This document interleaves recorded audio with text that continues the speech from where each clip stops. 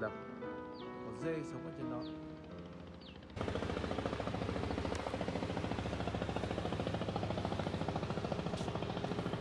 Con đường núi treo leo, một bên là vách núi, một bên là vực biển. Ở những góc quanh rất là thú vị giải lá vàng. Sau đó cái góc kia sẽ mở ra một không gian mới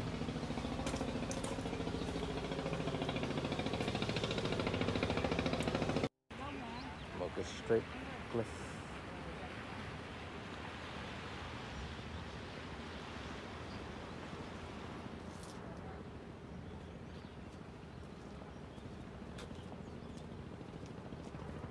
Đây đông rồi. đâu Cái khách sạn kia rồi. à Cắt có mong rồi. chắn Chắc chắn là thích đi bộ như cái đoạn trải nghiệm cái đoạn đường này thích quá rồi.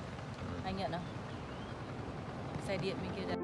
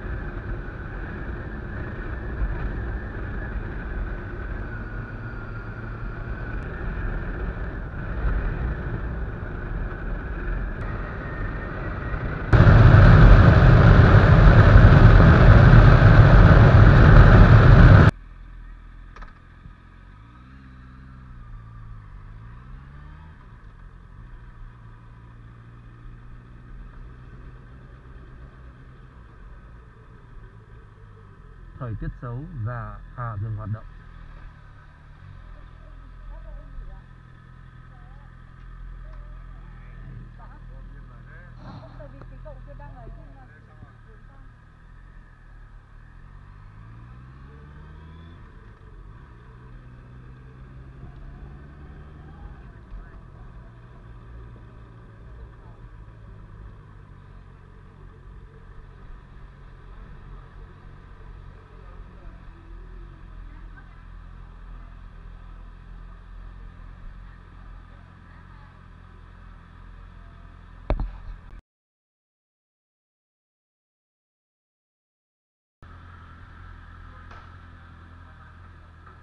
เล่นฟ้า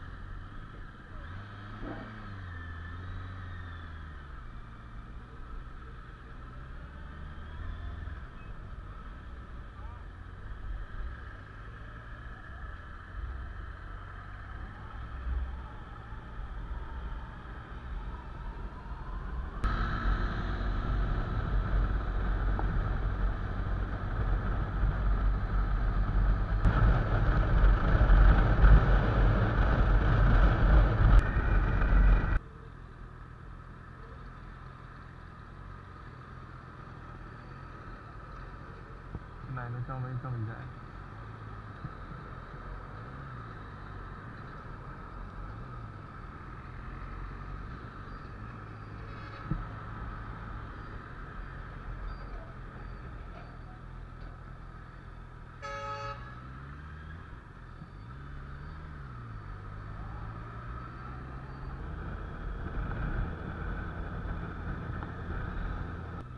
Hải Phòng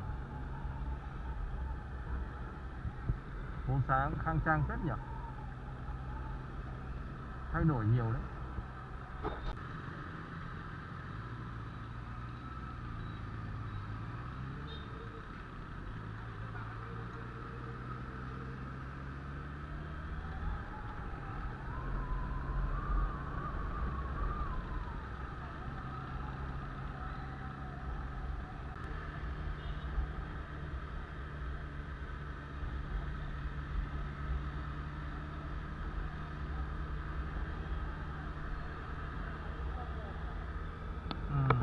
Ừ, ke bờ ke bờ